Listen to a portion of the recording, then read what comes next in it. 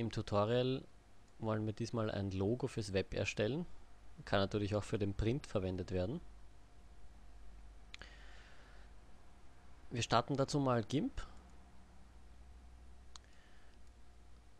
und füllen die Hintergrundfarbe mit der Farbe 414141.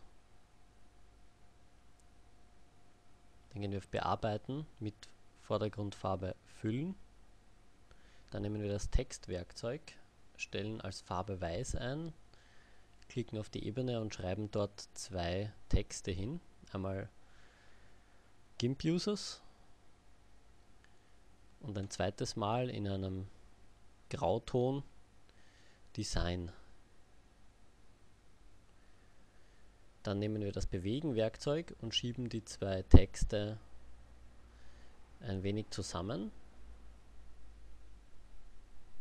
Im Endeffekt sollen sie ein wenig versetzt sein.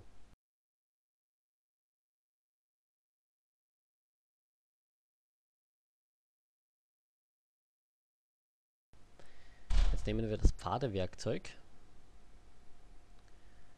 klicken hier an diesen Punkten einfach hintereinander, halten Steuerung gedrückt, dann können wir den letzten mit dem ersten Punkt wieder verbinden.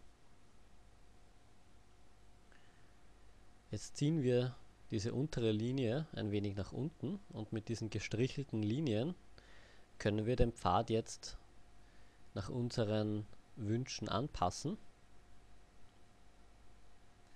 Und wichtig ist, diese gestrichelte Linie bildet mit der darüberliegenden Linie eine Gerade. Wenn das der Fall ist,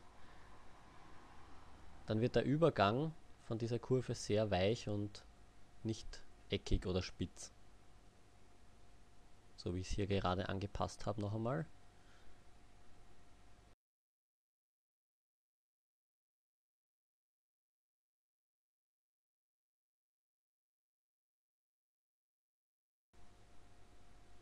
Wir können natürlich die einzelnen Punkte auch immer noch verschieben. Und im Endeffekt wollen wir halt um diesen Text eine schöne Schwingung herumlegen, was das ganze Logo ein bisschen aufwertet.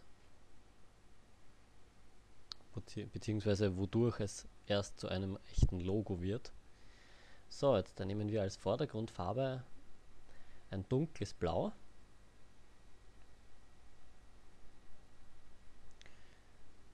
als Hintergrundfarbe ein sehr helles, hellblau, gehen auf Umkehren beim Farbverlauf Werkzeug und nehmen Form angepasst als Form an.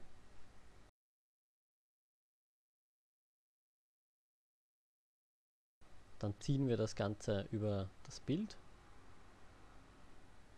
gehen auf Auswahl nichts und schon haben wir das Ganze ein wenig mit Farbe gefüllt. Dann gehen wir auf Farben, Helligkeit und Kontrast und stellen hier plus 40 und plus 30 ein. Und jetzt machen wir nur noch einen kleinen Schatten.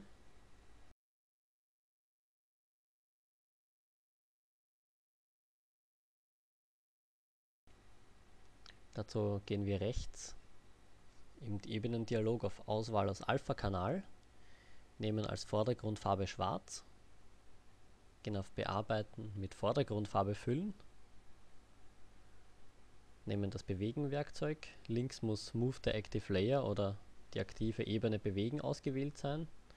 Und dann schieben wir diesen ganzen Schatten ein wenig nach unten, stellen Deckkraft 25% ein und das war's schon.